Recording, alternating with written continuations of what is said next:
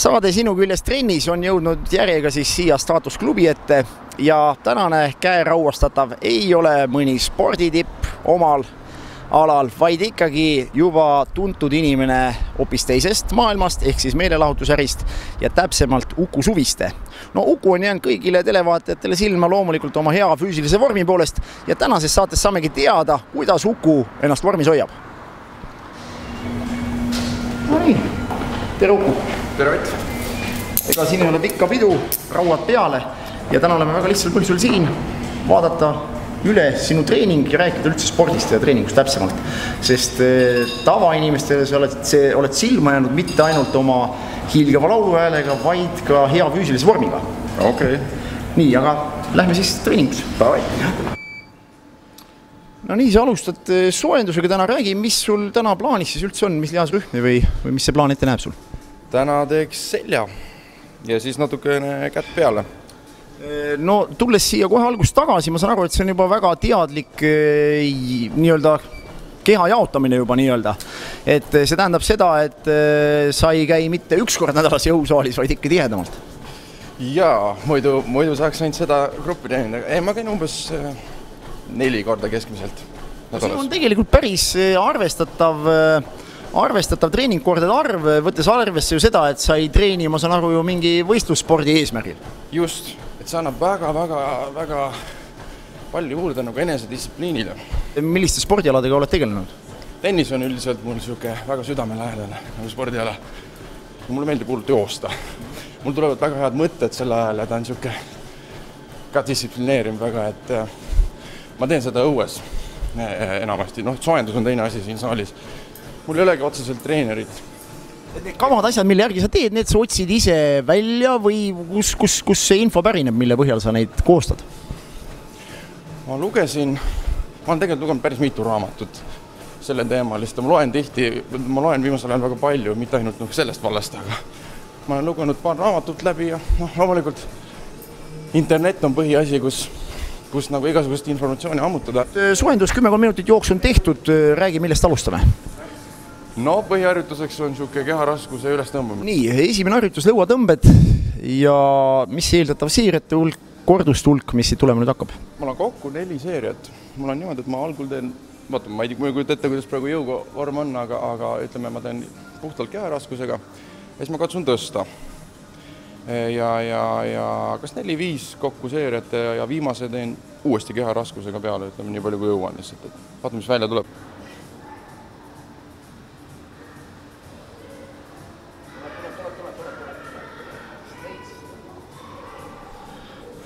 no nii, viisteist kordust ilusasti esimene seeria. no see räägib ainult ühte, et sportlik vorm on ju päris hea. ja mul tuleb ka, tuleb eh, Jurmala laokonkurss, et, et riided ilusti selga mahuks ja, ja et. Nova ja Valna, eh, eks ole, ma olen ise Vene estraadi suur austaja ja tegelikkuses eh, olen ka iga-aastase konkurssi vaadanud ja see just oma osavõtjate arvult, et noh, ütleme tegelikult endine NSV Liit terves mahus on tavaliselt olnud seal esindatud ka ja isegi laiemalt minu teada veel lausa lääneriikide poolt oli ja, ka vist. tõepoolest, kui ma ei eksi, paar aastat tagasi vist Michael Bolton käis ja, ja, ja iga, iga aasta on, on neil ka jah, väljaspoolt no kümmekond kordust täis, pisikese abiga viimane, aga kümmekond kordust, kümme kilogrammi lisaraskust ühe laulja kohta, ma arvan, et see on, ei ole palju neid saaliski neid poisse, kes niimoodi teha suudavad, nii et selles mõttes tõsi ta on, et vähemalt see lõuatõmbamine on sul küll üks, üks trumppala, võiks öelda või? tugevamaid harjutusi vähemalt. see on nagu küll alati olnud nagu jah, number üks ja põhiharjutus vist seljatreeningul, ma arvan, et. mis see kehakaal sul on, Reigi? kakskümmend kolm võib-olla umbes jah kaheksakümmend kolm kilo, noh, ei saa ka öelda, et oleks mingi päris pisikene poiss ja et imekerge, et sellepärast tõmbab, nii et tegelikult kaheksakümmend kolm kilo on täiesti arvestatav. ja pikkust on sul ka kaheksakümmend kuus, nii et, et igati proportsioonis, võiks öelda. jah, umbes. Nii, aga järgmine raskus, sa vahepeal puhkad rahulikult ära, tahad sa nüüd lisada raskust või mis see ette näeb sul? tead, mul tekkis niisugune idee, et see oli praegu kümme, et ma arvan, et äkki oleks mõttekas isegi panna viis kilo juurde, et on viisteist lisaraskust teen, mis ma teen, kuus-seitse korda ja juhul võib-olla ja siis, ja siis võib-olla viimased. viimase ilma peale.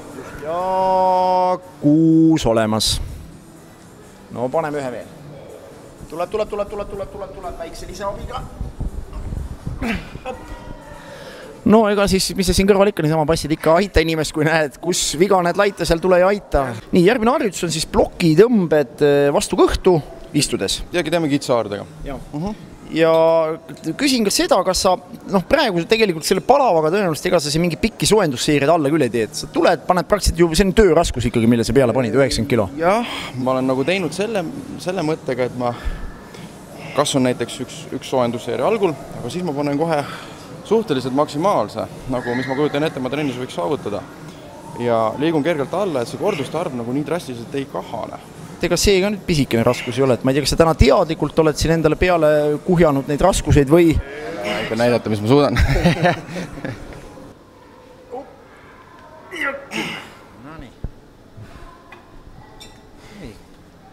kümmekond kordust ilusasti. no eh, jutu järgus küsin ka sellist asja, et, et eh, noh, ütleme nii, et eh, me oleme täna ka staatusklubis, et ma küsin natukene hoopis teisest vallast võib-olla küsimuse, see puudutab küll otseselt ka sporti ja spordi tegemist, aga räägime natuke riietusest üldse, et.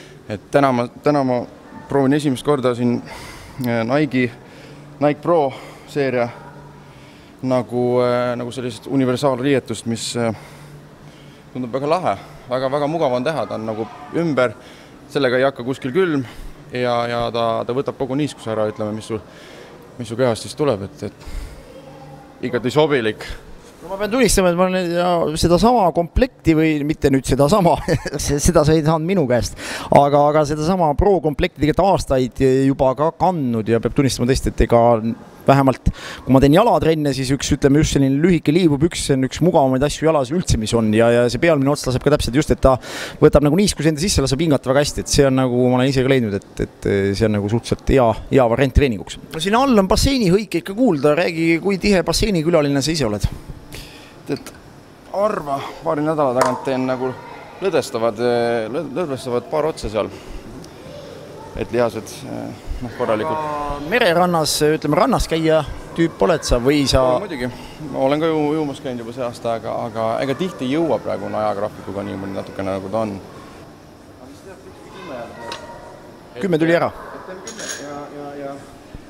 võib-olla nüüd tõstame ja siis, et see kolmas kord kordusega oleks niisugune maksimumiga okay.. tähendab, sa tahad praegu teha, et me teeksime nagu püramiidina seda, ehk siis me tegelikult lisame kor-. mitte nagu alla tulles, aga jah, jah, selles mõttes jah okei okay,, aga siis me paneme juurde, ma ei teagi, palju me paneme. kuidas sa tundsid, kuidas sa pead ise ära tunnetama, kuidas see varu sul siin sees oli? no maksimumi tehes ütleme võib-olla kolmteist, neliteist oleks pigistanud praegu. see tähendab, et me paneme ikkagi kas siis kümnesed äkki juurde kummagile poole või? paneme viiesed seljapäeval eraldi, kas sa nagu trapetsit eraldi treenid või õla tagaosa näiteks sellel päeval? õla tagaosa on. Õla tagaosa juurde. teeme mm. -hmm räägime nüüd natukene sinu siis eh, ametikaaslastest ka, ehk siis muusikutest, et räägi, kui palju selles vallas üldse selliseid spordiinimesi, kas nüüd just nii tõsiseid kui sina, aga, aga palju nagu sporti tehakse selles vallas? Äh, ma usun, et äh, viimasel ajal võib-olla isegi see on nagu kasvavas nagu liikumises olnud, et, et siin staatuses me käime koos äh, Kristjan Kasaruga, kellega me oleme palju teinud ja, ja noh, temaga on väga hea teha, et selles mõttes oleme nagu suhteliselt niisuguse ühe progressi peal olnud ja jaganud oma, oma teadmisi nagu üksteisega ja, ja, ja meeldib koos teha, meeldib ka üksi teha, alati koos tegemisega on nagu see, et et, et kui läheb liiga vabaks kätte, et siis tekib seda juttu liiga palju ja, ja, ja no ma vaatan, sul on siin rasvapõletaja näpus treeninguaeg, et eh, on see iga treeningune jooksul või, või mida sa nagu treeninguaeg eelistad tarbida, kas siis vett või siis seda? vett joon tavaliselt, et äh, see toode sisaldab L-karnitiini, mis on, mis on hõlbus siis kasu, kasutada, ütleme, treeningu ajal, enne treeningut isegi, kui kerget niisugust rasvapõletuse efekti nagu paremini esile tuua, et, et selles mõttes ta on hea jook. nii, aga muidu muul ajal väljaspool, ütleme siis, räägime siis ka väljaspool trenni võib-olla üldse, mida sa eelistad juua? viina puhast aga selge, sul on veel lisaks seljale täna sa treenid ka piitsepseid, jah? ma arvan, et äh, üks võiks olla niisugune traditsiooniline selle skotipingi, jah? jah. nii. ja teine? ja teine äkki tõmbaks äh, kaablitega. hästi. no nii, äh, sedasama üle skottpingi siin selle kangiga, mitu seeriat sa plaanid praegu teha? kolm. kolm seeriat. teise harjutusega kuskil kolm. Selge on see, et juba lihas, et- seljaga sai juba kõva laksu biitseps ka, nii et ega teda ei olegi mõtet palju peale teha, eks ole. just. ma arvan, me paneme juurde kahe poolesed ja teed kümme. okei okay..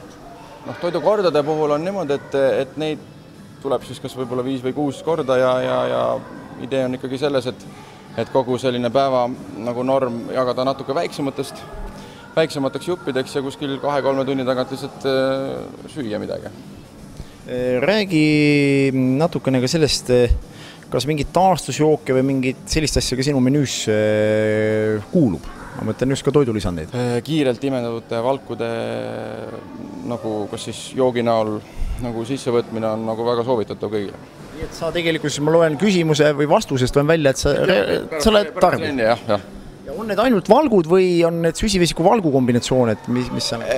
banaan, banaan on selleks, mis on süsivesik, banaan läheb ka pärast trenni. nii, nüüd on jäänud viimane harjutus siin biitsepsitele trossidega ülevalt, tõmbed. Ehm, harjutuste valiku kohta võib-olla ka küsimus, et lihtsalt, et kui tihti sa neid harjutusi valid või mille põhjal sa enda jaoks nagu seda, lihtsalt kas see on see meeldimise järgi või sa oled ikkagi enda jaoks selekteerinud välja, et vot need asjad mulle sobivad paremini kui teised? kui mingi harjutus hakkab nagu liialt meeldima, siis järelikult eh, ta on liiga mugavaks muutunud, et ma arvan, et eh, noh, kaks-kolm trenni, siis peaks midagi, midagi nagu võib-olla muutma, et, et noh, mingi harjutuse välja vahetama mingi uue põneva, huvitava vastu, millega keha ei ole niivõrd nagu harjunud, et ikkagi hoida sellist nagu, nagu, nagu liikumist nagu.